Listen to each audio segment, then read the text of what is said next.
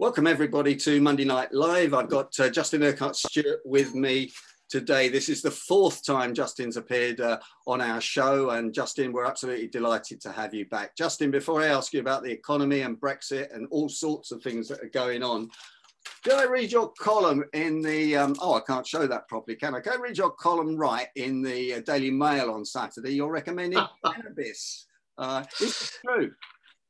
Well, it wasn't actually recommending that you actually go and buy cannabis, but there are cannabis companies or companies that benefit uh, from the sale of cannabis, medicinal or otherwise. Um, so it hasn't quite reached the stage. I'm sorry, the Monday night cat has appeared.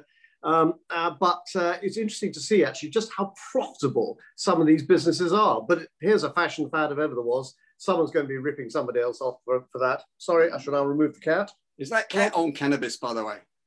It, it's stoned, this cat. Okay, stoned. that's all right then. That's all right. Now, the second thing is I want to congratulate you. I hear you've just got engaged. So, uh, everybody, please, in the usual way, a round of applause for, for Justin. Thank you very much. You're very kind. It hasn't actually gone public yet, so you're the first to know. Well, well it will be now. It will be uh, all, over, all over the internet and all over everything. So uh, you can trust all my uh, viewers. So for that. Okay, let's get stuck into right. the uh, while why everybody's here. Tell us what's been going on in the markets over the last uh, three or four months since we saw you. Why are interest rates going up? They're going up pretty quickly. If I look at the ten-year bond yield, and um, what's going to happen in the uh, in the budget, but also for our American uh, listeners, what's happening uh, over there as well. Where to start? Right. Well, let's first of all let's go back to uh, the the baseline of all of this, which is the global economy. Um, and despite what other headlines keep on screaming at us the entire time because they love nice frightening headlines, the global economy is growing again, uh, and that is an encouraging sign. Considering actually what happened last year, which wasn't just an economic difficulty, a horrendous pandemic, appalling levels of death, uh, and also, of course, the impact that has on families and then also it's the effect it was on the economy, creating a series of financial heart attacks around the country, around the globe, and then watching various com- company countries be able to manage them effectively or otherwise.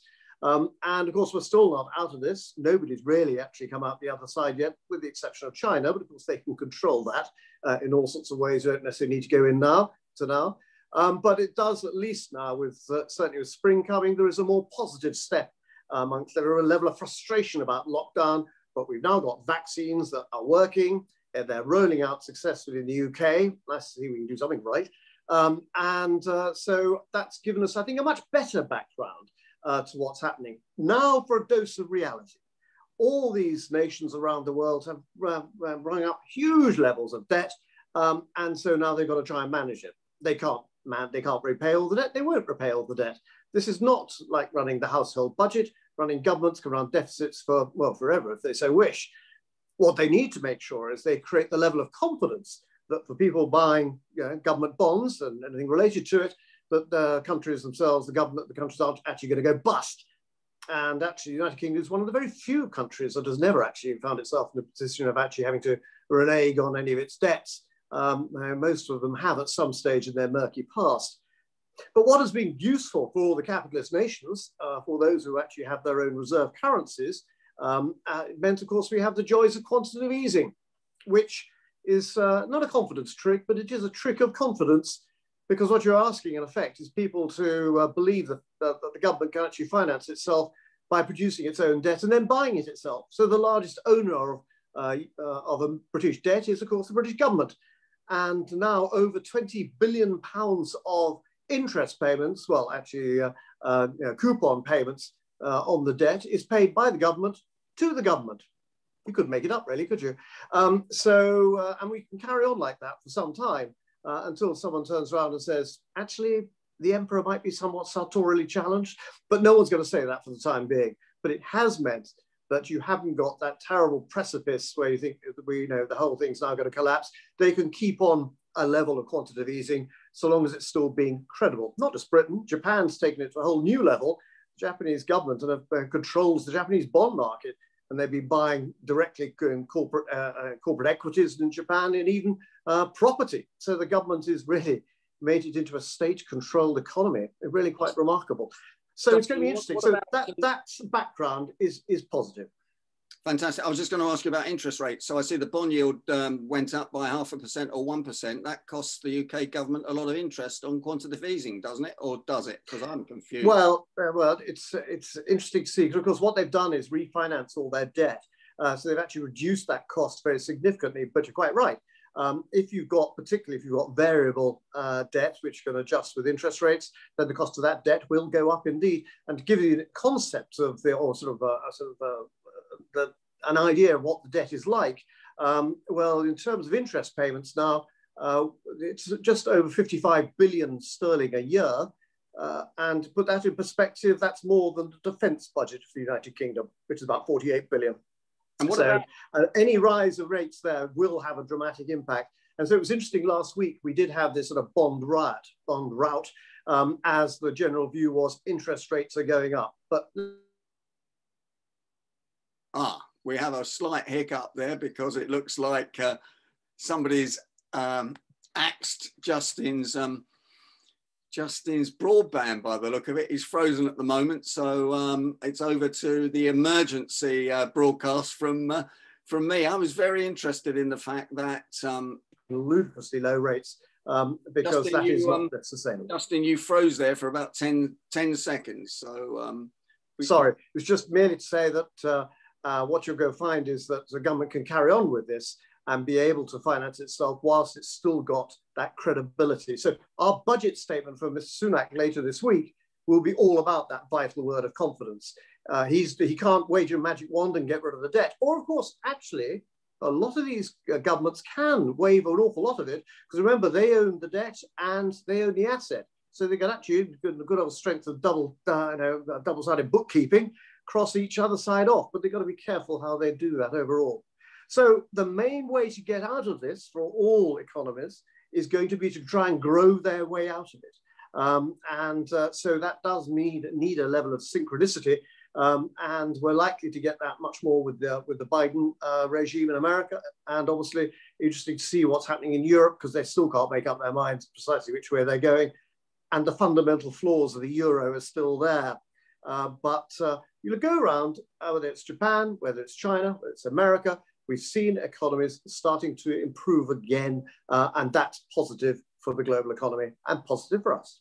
And sterling's rising against the dollar. Is that the Joe Biden effect? Uh, well, sterling's rising, but also the dollar has been weakening, which is, uh, I think, probably a greater effort uh, uh, issue. Um, I was writing at the turn of the year when we, if we were going to get a Brexit deal, of course, we didn't know whether we were going to get a deal or not till the right the last moment. If we were going to get a Brexit deal, uh, then you'd actually find in a position, oh, heavens, help the cats to go and walk, walkies. You actually find yourself in a position that sterling would then rise probably to about 140 against the dollar, which is roughly where it's gone uh, overall. Uh, so bear in mind, but the sterling is relatively uh, uh, unimportant compared to the big currencies, the dollar and the euro and the yen, um, but we're still a reserve currency. Uh, so it's much more that the dollar's weakened rather than necessarily sterling has strengthened because everyone's got more confidence in the UK economy. Uh, they haven't at the moment. And then you mentioned Europe, didn't you? Let's talk about Europe. Only only four percent of people vaccinated in France, six percent in Germany. They're going pretty crazy about that. We've nearly got thirty percent. Are we going to be able to take advantage of that, or are the uh, or will the issues around Brexit and the financial institutions hold us back? Uh, it's interesting. The level of uh, percentage of anti-vaxxers in places like France are really incredibly high. Um, you would have thought in this day and age we'd have gone way beyond that. Um, but uh, no, it's uh, so it's going to be very difficult. And if ever there was uh, a reason for saying actually Europe can't get its act together, well, here's a classic example: uh, the bureaucracy of Brussels coordinating all those nations together to try and make an efficient rollout. Uh, well, I'm afraid it hasn't. It's been highly inefficient. Um, and remarkable, I saw a, a headline in one of the German newspapers, Bild actually saying, "We are envious of the British for once." Um, and uh, on the basis of actually this has come out. What effect does it have? Well, it gives us the opportunity to actually hopefully come out of lockdown in a better position. It gives us more confidence that actually uh, we can uh, open up faster. Um, and the question is now, uh, how does the Chancellor manage this coming out? There will be a sort of short-term sort of V-shaped uh, initial recovery. That's called you know, merely relief because we've been locked down for so long. We're all going to need to go out and have a decent drink together. Um, it's what happens after that V that's important. That'll only last a month or so. Can you get sustained growth thereafter? And that's where certainly I've been pushing for the Chancellor here to focus on the areas that Britain's really rather good at. Now, unfortunately, the agreement with, uh, with over Brexit didn't include the financial services industry at all. It seemed to focus on the fishing industry. Now, we all love the fishing industry, except for the fact it's worth absolutely sod all.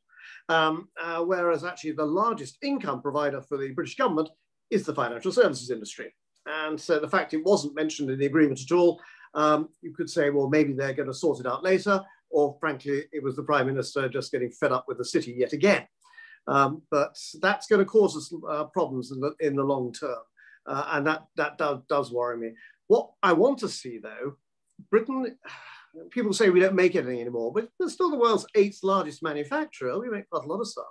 Um, however, what we are really good at, and this is the bit that tends to get ignored, is technology. And okay, we can say it's, uh, you know, it's uh, the next stop after uh, Silicon Valley.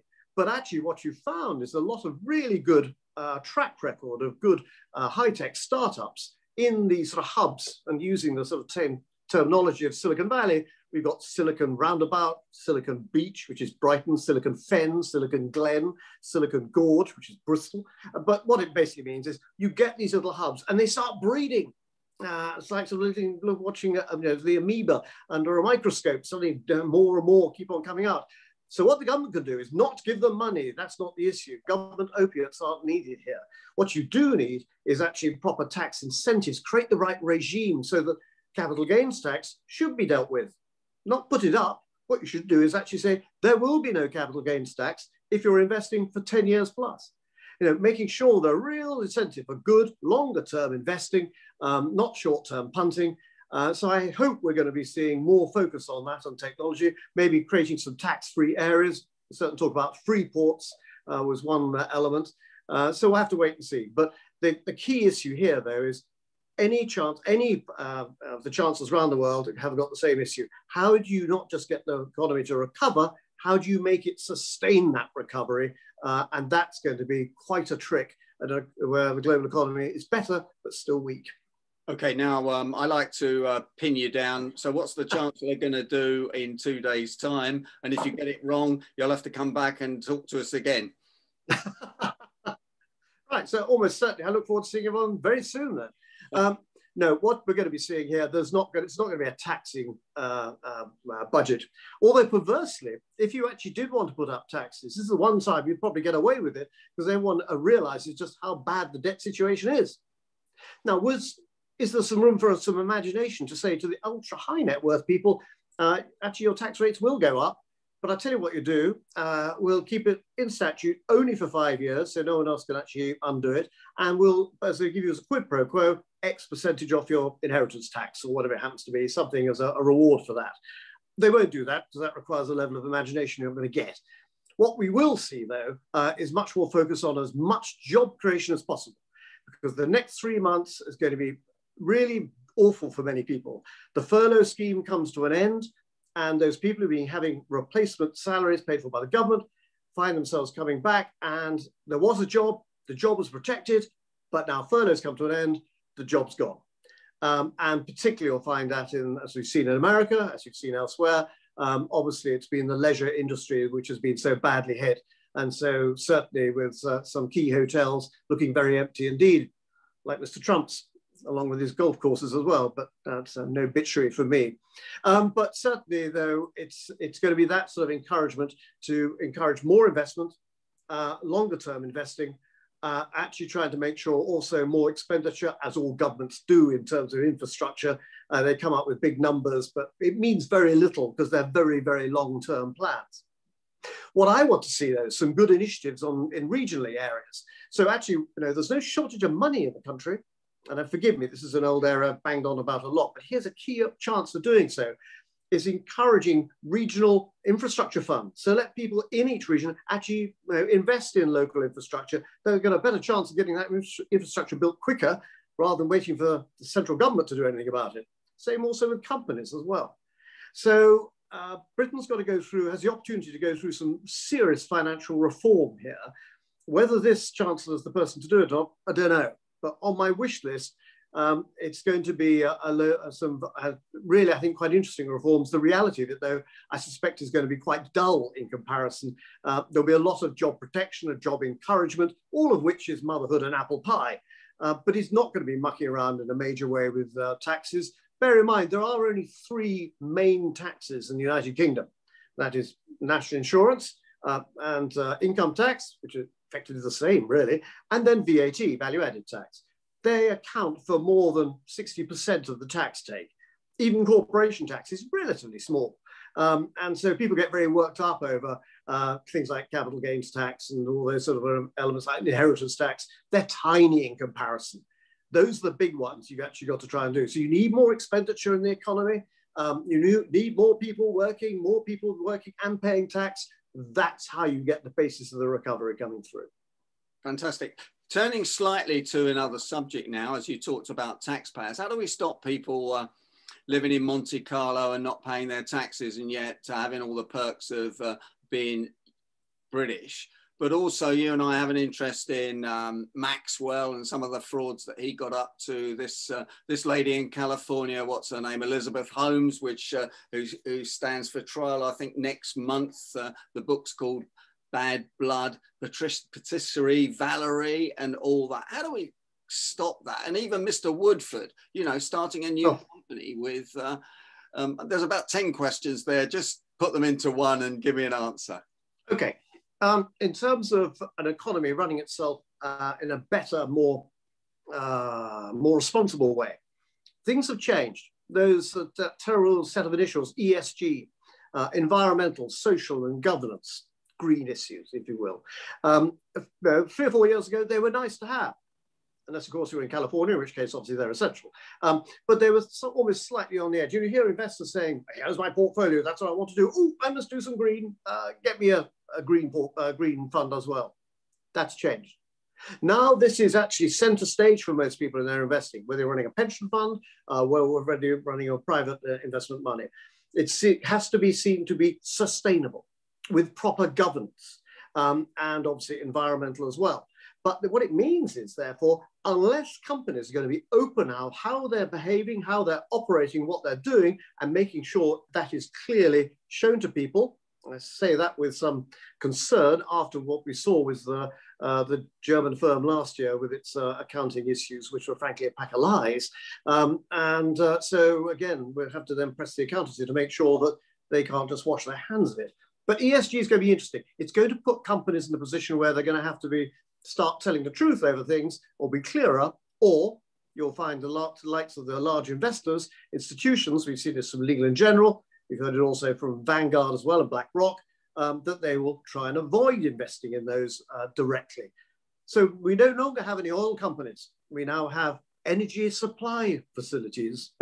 um, and they will all be saying, we will be carbon neutral by a date where you won't be around by. Um, but that's what they're all now having to say. So indirectly, therefore, does it mean that we're going to see a better quality of business that we can trust? Well, there are always going to be the Ponzi scheme uh, and uh, um, those uh, financial wreckers around. But the more open and controlled we can be about it, the better. And bear in mind, London's got a pretty bad reputation for this. You know, we were running a fantastic laundromat for the Russians for many years. Uh, and uh, so if you wanted to, you had where London would pride itself and say, look all these amazing Central Asian uh, companies coming here from a stan or other um, and mining something which, I could, which you can't pronounce. Um, and would it float in America? No, because under the guidance they've got for most of their directors, they'd probably spend most of their time in choking. But London would accept them, and London did. I'm afraid we did an awful lot of money laundering and we've done our reputation no good at all. And uh, so, uh, again, uh, London's got to work very hard to clean up its house in order to make sure it's still going to attract longer term money. Okay, we've got a few Chelsea supporters on here, so be careful what you say, Justin, and I'll explain that to the Americans later. Um, Let's turn to financial uh, manipulation of markets. We've seen a bit of that recently, haven't we? Which has, has made me cross Reddit, um, shares going up that were virtually valueless, silver moving up, goodness knows what. and I'm not even sure whether Bitcoin was moving up or down or whatever. We got one or but two investors in Bitcoin on here, but uh, I've told them they're crazy, but they don't agree with me. But it is a classic case at the moment, uh, and we've got a lot of the SPAVs or SPACs coming out, special special purpose acquisition acquisition vehicles or companies, often with the expressed view in terms of their investment intentions to invest in uh, items which they see to be profitable, i.e., they have no idea what they're going to be investing in. As an investor, you have no idea either. One of the phrases, which is not actually true, but was uh, assigned to the South Sea bubble back in the 1720s, uh, was actually that here is an enterprise, the details of which we're unable to tell you at the moment. And it went off uh, like a rocket and uh, came down like a stick. Um, and uh, so it's, I'm afraid we're seeing not dissimilar signs to some of that, that overhyping. The issue though of GameStop though and Reddit and things, I thought was fascinating because that shouldn't come as any surprise at all. That you've actually got social media now finding itself in a position where it corral excitable punters, not real investors, but young punters, um, actually to actually force their way through to go and buy stock in something which you know full well that the institutions are betting against. So the power of the retail market, no one could ever really think that that was actually have that uh, ability to do that. But for small companies like that, in that position where there are people uh, who've been big short positions, well, those hedge funds are laying themselves open to it. And there's only one technical term should be used for them, which is um, diddums. Um, what it now means they all have to do is cover their positions more effectively. And frankly, that's a good thing. Uh, the bad thing, of course, about that is I'm delighted actually several American students I know paid off their student loans as a result of that, which is well done for them. The problem is, and you can always hear them already people chattering about it, other people trying to join in, this is something we can do all over the place. No, no, that's the recipe for losing money. And speak of which, you mentioned silver. For those of a certain age may remember, uh, and uh, Tim, I'm sure you'll know better than any of us in terms of the Bunker Hunt family. Um, and uh, uh, fascinating that uh, you know, they tried to corner the market in the silver uh, silver trade, and they effectively went bust as a result of it in a rather spectacular manner. Um, so be careful. Some classic examples here of um, overhyping and uh, incredible values which are not going to be sustainable. And I'm afraid you're going to find over the course of this year more of these issues coming out as people try and find bigger and better returns, sharper returns. No, good investment is slow and steady. If you're doing investment well, um, it should be actually quite dull um, because you're building your money in the long term in a secure manner. If you actually want to go punting, thoroughly enjoy punting. That's why we have horse racing in this country. Uh, and don't get that mixed up with your investing policies. That's interesting, is it? Because I always think there's only one winner with horse racing and uh, any gambling, and that's William Hill. And it's usually the person in the middle that supplies all the services that uh, that makes all the money. I just cannot understand why people uh, speculate, but uh, perhaps someone can put me right on that at uh, some reason, reason, at some point. I guess it's uh, I guess it's just greed. Um, can we talk politics for a minute? Can we talk politics yeah. in the UK? Boris, Sir Keir Starmer. Uh, Germany, Mrs. Merkel, I think she stands down, doesn't she? Everyone's yep. carry on for a bit. And uh, in America, Joe Biden and uh, and Trump. I hear Trump's um, having a rally or had a rally yesterday. What's your view? Right. Well, first of all, if I do the uh, parochial domestic side of the, with the UK, um, we've got a government that's going to be here for a while. Um, uh, the opposition actually find themselves in a rather difficult position because what are you going to say? Uh, there's not a great deal to say the government's wrong in spending money. The government's wrong in trying to actually get us out of uh, the mess. Um, and so, to a great extent, you know, they've almost need to keep the trap shut for the time being and wait for Boris to, to muck it up, which he will do because, you know, he has the ability to put his foot in his mouth on an astounding number of occasions. So Sir Keir Starmer might not come over as the most exhilarating or exciting person at the moment, he sort of hasn't got some great ammunition to work with at the moment. So, so he just has to actually just go with the flow for the time being, wait for the Prime Minister and the government to cock it up. There'll be lots of issues coming out over that, and then he can start doing something. Uh, so in terms of the United Kingdom, we still have two issues to try and deal with. One is the real interpretation of, sorry, the effect of Brexit um, and how we're going to manage our way out of that.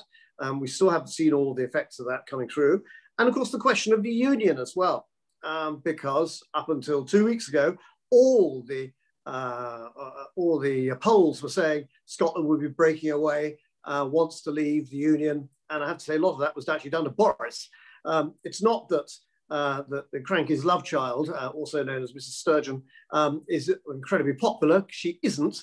Um, and uh, but unfortunately, it was Boris's uh, inability to actually come up with anything vaguely diplomatic um, that made life more difficult. But only last week, as a result of the scandal between a salmon and a sturgeon, okay, salmon isn't actually spelled that way, um, but uh, the scandal within the Scottish Nationalist Party um, has actually meant that there's now people thinking again and saying, actually, maybe the union possibly is a better position, particularly when they look at the debt, when they look at the amount of money that's being uh, spent in uh, that Scotland gets in terms of extra support that they wouldn't that they wouldn't be getting if they were breaking away.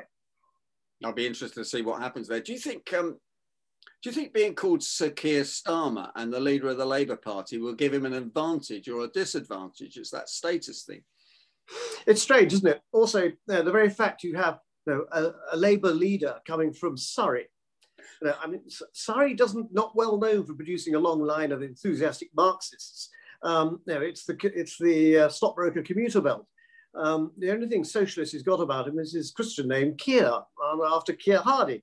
Um, but uh, you know, so it's it's interesting to see uh, that the fact he is a, a, a, being, being made a knight. Does it change the attitude towards uh, attract not not attracting the working vote? I don't think that's going to make much difference. What he's got to be able to show is, is uh, that actually Labour will have a policy, some strong policies to guide the economy over the, uh, over the next few years. But until we get out of this mess, he should probably keep his trap shut for the time being. Okay, let's go to let's go to Germany and France. France, I see the Macron's been put in, not Macron, um, the previous Sarkozy put in jail. There's a good chance he can probably go there, and uh, it's uh, no Macron's too dull to be put into jail. Um, but uh, no, the bit I worry about with Germany is um, no, there we have Merkel stepping down, uh, and uh, Mutti Merkel, who has done an amazing job, mm. um, and uh, really has been a, a, a, the powerhouse of Europe. Only one problem: name one other German politician, and the answer is we have no idea. It's been her the entire time. Um, so who takes over? And I think what you're now seeing is there is a level of resentment, which has always been in the EU towards not the EU, but towards Brussels, towards the civil service of Brussels actually dominating things, running things. Unless you actually had strong politicians up against them, uh, then uh, they were having their own way. And Merkel was very good.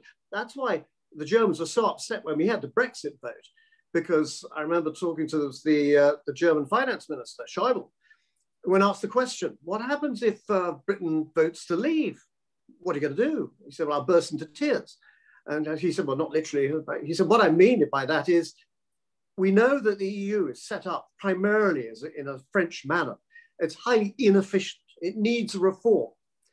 Germany wants to do that reform, but it needs you know, other political support to do it. And it can't do that with Denmark um, uh, or Liechtenstein. I'm afraid it's not actually that sort of uh, you need people with some budget welly, some political welly to get things changed. So he's very frustrated. It meant they couldn't, weren't going to get the reform process going through. So my concern with Europe is this. One, uh, it's going to have weak leadership and where the clear view as to what the policy is going to be uh, and, and everyone buying into it. I'm not too sure we're seeing that at the moment. And you can see that when look, just having to look at the policies to try and get the economies going uh, together. The other element is the euro the euro still has a fatal flaw in it. If you're running a single currency, a single currency means that actually uh, you have to maintain proper controls over you know, the levels of borrowing, uh, the way that actually the, the money is managed, um, and the freedom of movement of money. All of those elements. Actually, within the euro, what you've got is every single country having different fiscal rules, different taxation systems. I know in America, all the states have different taxes, but it's harmonized, harmonized through the Fed to actually make sure it's got a single control over what's happening. Unless you get the EU nations being able to do that, the euro will have a fun, this fundamental flaw still within it. And it's going to be very difficult for that, uh, to try and manage. So my view is still the euro will eventually fail unless they're able to address that. And I don't think they will. And I think in due course, and it may take 10 or 15 years, you'll see the currency split. You'll have the euro, which is Northern European nations who realize that they actually do have to have a central fiscal control and you have the zero, which will be the rest of them. And so the likes of Greece and those other countries, they'll still technically be in the euro in terms of their overseas debt, but they'll effectively be operating with a domestic currency, a tradable olive or something like that, which will immediately devalue, but they'll be able to operate. So they'll still be within the EU, still within the ambit of, uh, uh, of uh, the currency, but not actually in the core part of it. Um, and so there's going to be some significant problems for the euro over the next few years, and that will impact on their economies as well. We better have a minute on uh, the US, and then uh, we'll turn to uh, your new venture regionally, and then we'll have a few questions. Okay, well, the US. Um, uh, this is no way I should be lecturing our American colleagues here on what's happening um, in terms of what should be happening. It's your country. Still, I'm delighted that you managed to get rid of the last guy, just. Uh, although I see announced he's probably he's uh, thinking about coming back another four years' time. Oh dear. It's not so much him, it's some of his wretched family I can't stand, who appear to have a sort of God given right, so they think, uh, to lord it over everybody um, particularly with some of the lack of knowledge and um, uh, do I say intelligence? No, I better not say that. Um, but anyway, what you've actually got now is welcome back to Biden. It's the old school back again. Is that dull? Yes. Uh, dull is actually quite good at the moment. Uh, does it mean that America is back, as Biden was saying, internationally? Yes, uh, with the Paris Accords um, in terms of whether it gets into the Trans-Pacific Partnership or, and its uh, successor. It'll be interesting to see and what's going to be the policy with China. Um, and so I take a lot more comfort now that uh, uh, Biden is there. The size of the package is eye-watering, whether it's right or not. Uh, it's, it's a question of scale. The American level of debt is just uh, astonishing. What they have to do, though, is get that economy moving on a sustainable basis. Um, so he's making all the right noises for that at the moment. Um, but American politics isn't looking particularly attractive at the moment with this very partisan world. But I'm not going to be throwing stones at them when I turn around and look at ours. They ain't much better. Yeah, I mean, when, when we had a rehearsal last week, I was just fascinated that our old firm Barclays, um, before it sent you to Uganda, sent you to Wandsworth branch for your Ugandan training, where I think the only the only business there was um, was the biggest brewery in London, wasn't it? Young's yes, brewery. That was Young's Brewery, absolutely. That's a lovely idea. If we're going to the heart of Africa to training, you go to Wandsworth. If anyone knows London very well, they'll probably know what Wandsworth is like, and it's hardly the place you rush for for any training other than learning how to run very fast away from the mugger. Um, actually, that would have been quite useful in Uganda, but oh well, I should have uh, learned more on that one. Yeah, we'll, we'll go back to that one next time we have you on. Uh, how's regionally going? Because I think it's a fabulous idea, and uh, you know, to raise money locally. Yeah, and regionally is no more, frankly, than was there. Uh, the infrastructure was there 50 years ago. In the United Kingdom, there were in 1945 45 stock exchanges, most of which were highly inefficient, run by silly gits in red braces who were too greedy, earning trading commissions. They forgot what a stock exchange is for. The primary purpose of a stock exchange is to raise capital for business in the most cost efficient and effective manner possible on that basis, I would argue that London doesn't have a stock exchange anymore because the London Stock Exchange is more interested in data collection, which is very valuable and be very profitable. But not many people list on the London market anymore. Um, it serves large companies. Oh, there's AIM, the alternative investment market, which actually six of us started uh, in Glasgow 35 years ago. And it was a low cost, simple, light touch uh, for small businesses to be able to raise capital. In that case, in Glasgow, it was a small gaming business, software gaming business. It was very successful. Now it's fat, overcharged, inefficient, and some of it, frankly, a bit corrupt in my view. Um, so one of the things I wanted to be able to do is not go back to the 45 stock exchanges, all of which got shut down. There's no shortage of money around the country, but everything is focused on London. Why can't you have people who say, I know that business around the corner here. Can I invest in that business? Well, no, there isn't a mechanism to do so. I can't exactly knock on the door and say, Can I have give you a check? So actually, we can uh, create regional hubs so that companies growing, not just startups, not focused on lots of things for startups, but growing businesses, particularly at this moment after, after COVID, who need capital to get onto the next stage. And that growth area, that capital area, were from about half a million pounds to about 15 million pounds. Really difficult to fund because business angels and individuals, it's too big for them, but it's too small for institutions. So if you could create regional, uh, effectively stock exchanges, hubs, with their own list of companies, and you could have an index on that, you can then see how the Northeast, the Northwest is actually doing. And like any good index and a list of shares, if it's doing successful, it operates as a flag for the region and will pull in more money. So we started this and we've already just gone through the first three companies, which are now being properly funded. I haven't launched it yet because I only like to launch things once it's working and I've done a cycle, we could show it's working. But we'll be doing that in the next month or so um, and being able to show to people, look, this is where your money is really needed, not into the large multinationals, but into the growth areas. And let me come back to where we were right at the beginning, talking about those technology stocks, which need investment to try and make them grow because our technology stocks start off as seedlings, grow into nice little saplings, and they get promptly bought uh, by our cousins in America or in the continent. Um, and so we miss out on that and lose that. So regionally is just merely a piece of financial planning, putting that back to enable regional investors, national investors, international investors bypass London and go directly to those centres to look at those growth businesses. And the key issue for me is making sure you're doing the due diligence to make sure you've got quality businesses in there. Actually, as you were saying earlier, the right standards, make sure that operating in the right way, and investors are investing in something they can understand and what they're being told is truthful. There'll no doubt be some which won't, uh, won't live up to their reputation, um, but actually we can stop an awful lot of the bad ones coming through. So, so far, touch wood, uh, with a, it seems to be going heading in the right direction. Um, the investors like it, companies like it, and the local advisors, and even the politicians like it. Well, why wouldn't they? It doesn't cost them anything. Congratulations for doing that. Thank you. Uh, wish you all the very best. Now, I've got a few questions that came in advance. There's a few questions in the chat box, so let's uh, switch over to, the, to those. And I'm trying to group them together. So, uh, the demise of the high street uh, and retail due to COVID, is it overdone?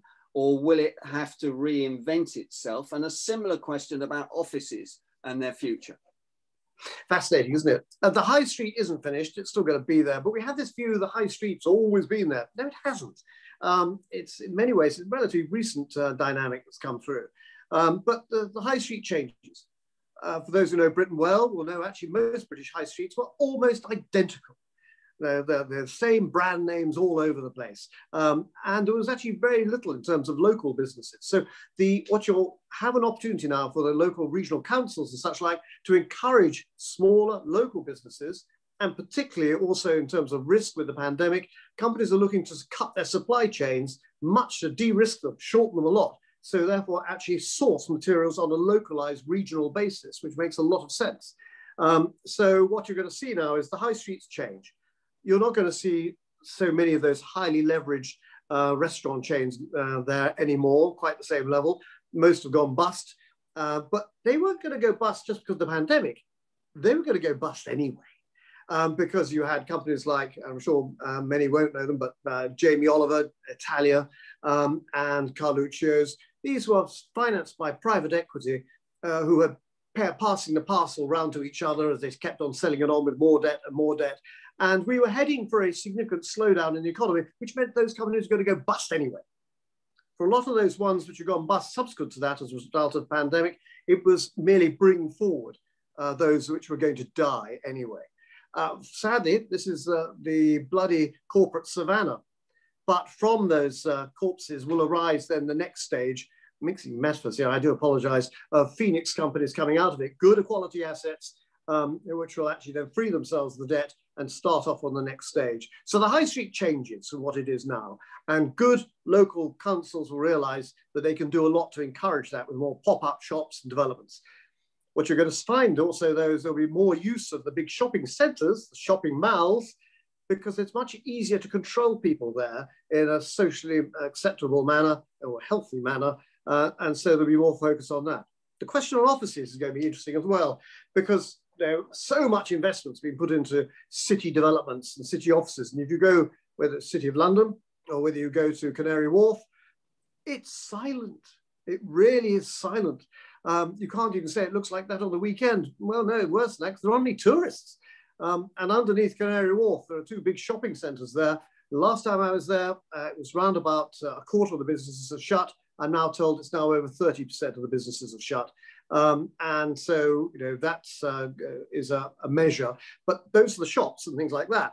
What you're going to find now is a lot of those companies now adjusting their uh, footfall. They don't need such big offices anymore. So therefore, they've now got the technology to allow people to work from home.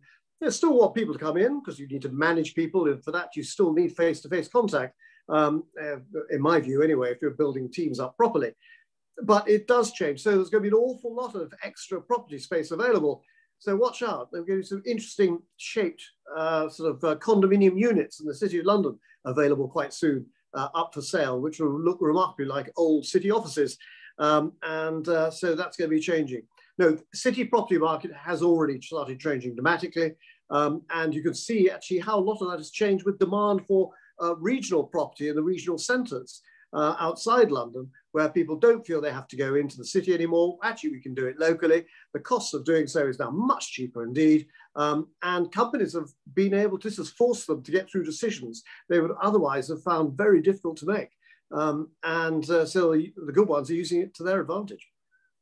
Okay, no, that's great. And we saw a shopping centre change hands, didn't we, last week for something ridiculous, for about 10% of its value uh, three years ago, I think. Yeah, and it is. It, uh, the, if you just look at the, uh, the, the basics of the economies of those businesses, it's uh, shops there paying rent. Well, if they can't actually get, they haven't got a business coming through, um, they can't pay the rent. Uh, meanwhile, those large corporations got big investments into these things, the infrastructure, everything goes with it. Um, and uh, so, yes, the, the assets now have just completely devalued. On the other hand, here's an opportunity of picking up assets which are very cheap indeed. So it, there are some very interesting things to look around at, at the moment, um, uh, but be wary uh, because the fact that actually it's cheap does not necessarily mean it's good. I'm looking, looking for those businesses which are now going to be coming out the other side of this. Their competitors have gone, not all of them, a number of them, but they find themselves in a position where they've themselves, restructured. One example of a large company that's done that, whether you like the way they've done it or not, that's IAG, the International Airlines Group, which is you and me as British Airways and Iberia uh, and Air Fungus, uh, Fingers, uh, Lingus. Um, and um, so all of that has meant that uh, they took this as an opportunity to renegotiate renegotiate the cabin staff salaries. No, they didn't, they just cut them. Renegotiate the pilots packages and cut them too. Uh, adjust the planes to get rid of the old ones, bring in more cost effective ones, and by the way, do better deals with leasing companies. And they went through a huge change like that. They're still racking up losses, but they're in the position to be a really cost effective business when we come out of this. And uh, who's lost out on it? Well, those companies that have gone bust. Those other airlines bust, and there are quite a number of them, probably some more to go. Okay, now I'm going to turn to the chat box. Um, quick one from uh, Mark Quigley. Uh, what do you think of CBX? Never heard of it myself. Cellular, Cellular Goods PLC. It was an IPO at 5p on Friday, opened at 29, 5p, and closed at 35, 13.5p. One of the many cannabis related stocks that clearly you follow for your Daily Mail readers. I mean, you know, whether you like it or not, it's not so much that uh, one should be going off and rolling up. Uh, but actually, in terms of the, this industry, it is developing very significantly. Now, I don't mean necessarily just, just flogging, uh, flogging dope. Actually, in terms of the medical elements of it, uh, in terms of providing the facilities uh, to be able to manage it, um, and all the other business related elements coming from it, certainly the medicinal side of it. Um, so it's well worth looking at because you can see the, um, the opportunities in terms of where the business grows. But the valuations you've seen with some of these businesses have just gone through the roof. And uh, you can come up with all sorts of uh, drug-related puns, I'm sure, on that. But the whole point of it is that you know that uh, yes, there's, a, there's some good businesses there, but I'd be very wary at the moment of actually looking at some of those valuations. I think I'll wait for that fashion fad to actually pass. There are going to be some tank tops there, and as uh, you well know, I own many tank tops. There's a question from one of our friends in the NHS that I work with saying that uh, the EU's accounts have never ever been signed off. No one's actually got to the bottom of that, which was one of the reasons for, for Brexit. And the NHS have, have been hamstring for going out to pit tenders and pitches because of Brussels rules. Um, is that true? Yeah, you're quite right. Uh, Brussels has never actually had its uh, accounts signed off uh, and fully audited. And that's one of the issues that Schäuble, the German finance minister, was so angry about. Now, here you are having running something which is not properly accountable um, and in terms not properly running in terms of accounting. Um, so therefore, this is an inefficient way of working. You can imagine your average German dislikes that intensely. The French, on the other hand, were very happy for it to go on. Um, so that comes back to that frustration again. And this increasingly will uh, grow amongst those countries in, uh, in Europe who are the ones putting money in and they don't feel they're getting the right deal in terms of those that are taking money out of it again. Um, and in my view, the EU has grown too fast and it doesn't have the requisite controls in place to do this, and particularly if you're then imposing a single currency on it as well. Um, and I'm afraid that's going to cause more problems. That doesn't mean necessarily avoid the companies themselves. You the companies will be, there's some sort of excellent businesses there um, and uh, certainly focus on that. But I'm afraid politically, Europe, I think, is going to find itself being sidelined unless it can replace Merkel with a group of, a new group of leadership, which is actually seen to be more inspirational uh, than the, the grey faces of Brussels. Okay, next question. The New York Times says anyone who's anyone has a SPAC right now. What's that about? A SPAC, a SPAC or SPAV, Special Purpose Acquisition Vehicle or Company. Um. And it goes back to that point I was making about the uh, South Sea bubble. What are they investing in? They're not telling you, they don't know. But what we're going to do is we'll get your money in and we're going to do actually do some deals on it and we'll let you know how we get on. Um, you know, I mean, that really is just asking someone to go and have a punt uh, on with your money. Be very careful indeed. Um, you only have to look at uh, how difficult it is for private equity businesses to make money.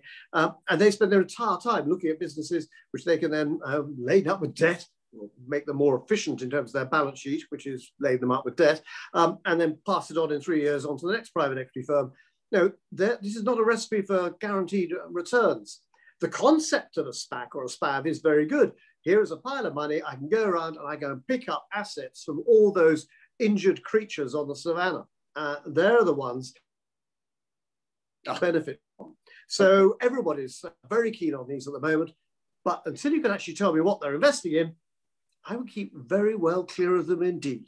Absolutely. Because otherwise, you're just giving free rein to any of those fund managers. Trust me, I'm a fund manager.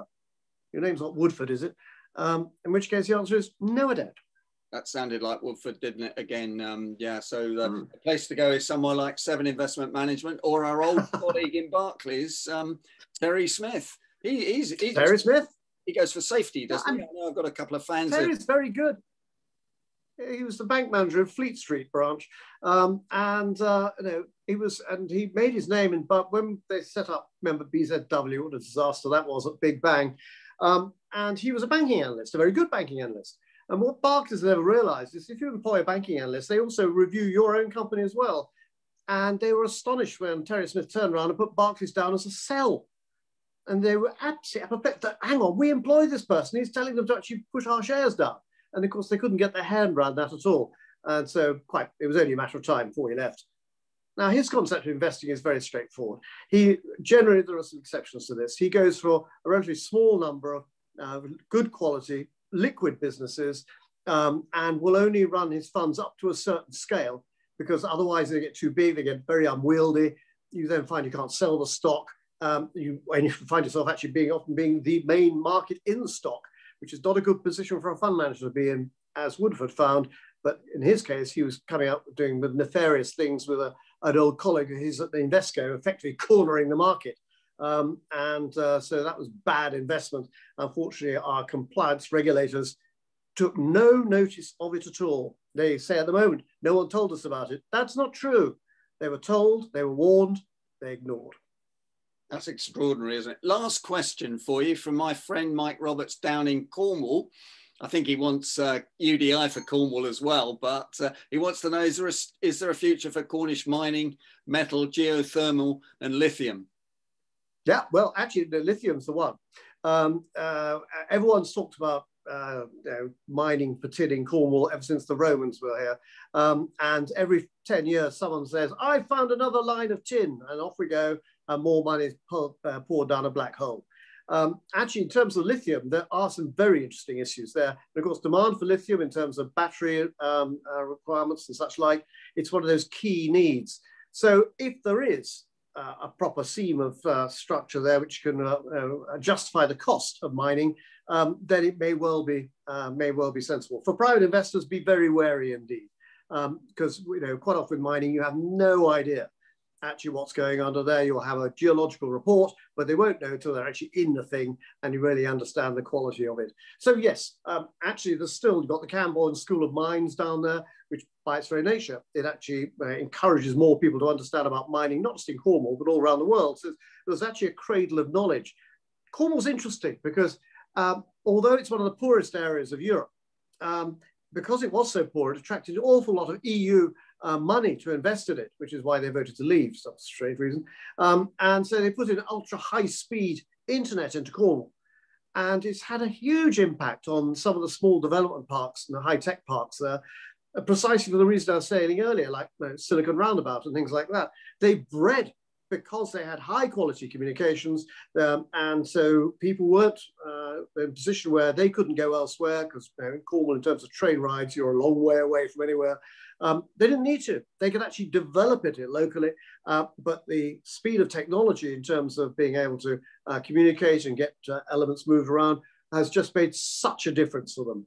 Uh, and I've been blown away by some of the businesses based in Hayle, which is actually quite, which is the sort of the less attractive part of opposite St Ives, um, and some amazing businesses there, which is the last thing you expect to find in Cornwall. Um, and so I actually think there's a, a, great opportunity there in Cornwall. It needs more capital. And in fact, one of the first companies through regionally uh, is actually, uh, again, it's going to be down in Cornwall, uh, focusing on some software there, but also in terms of uh, finance. So there's a lot going on there, but they're a classic case where they more need more direct capital coming in, not government grants. They also haven't going to get EU grants anymore, um, but uh, that will actually have an opportunity of making that a much more dynamic area uh, than it's been for donkey's years. Fantastic, Justin. Well, we're almost at the end of the uh, end of the session, so uh, thanks for joining me. Will you stay on afterwards and just answer a few informal questions? Yeah, cool. That's the first. Yeah, thing. delighted. Second thing is, will you come back and join us? And um, shortly, it might be even more shortly if your forecast for Wednesday uh, don't go right.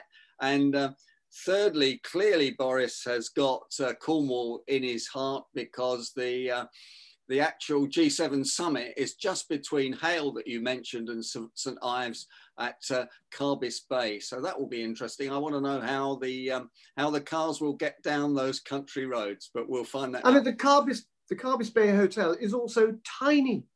You know, it's just as well as doing the G7 because that's the number of rooms they've got. I know. Um, I mean, of all the places in the whole of Britain you could have chosen, you know, that was possibly the least appealing to actually get to. Anyway, no matter. Well, I've cancelled my holiday for Cornwall in uh, in June, even if I thought I was going to allow to to get down there anyway. Uh, Justin Urquhart Stewart, thanks for joining me. Thanks for joining me, everybody on uh, YouTube on the Negotiators podcast. It's lovely to see you. And every Monday night, uh, Derek's Monday Night Live show. Do join us, and we look forward to seeing you again, Justin. Have a great week. Thank you very much. Thank you, Derek. Thank you. Good luck.